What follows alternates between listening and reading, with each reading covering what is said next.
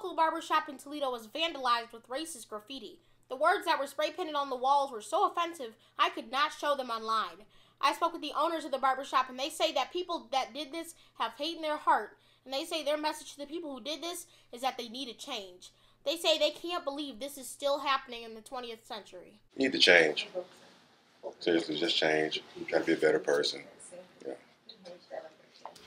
Um, well, the paint I feel is just reflective of um, what's in someone's heart, and unfortunately, that's sad. Um, and I just think it's I think it's terrible, but you know we'll, we'll get through this.